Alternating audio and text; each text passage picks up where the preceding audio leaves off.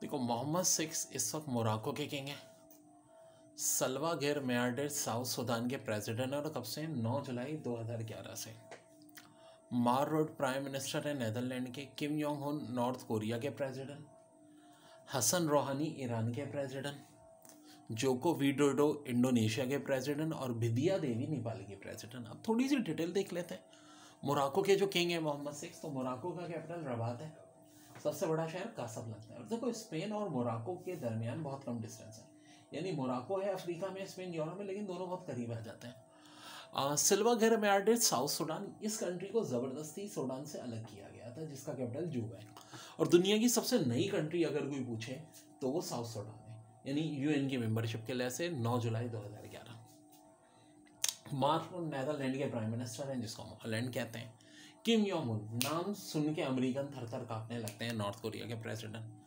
Hasan Rouhani Iran के president और Joko वीटोडो Indonesia के प्रेसिडेंट। और विद्या देवी नेपाल की प्रेसिडेंट।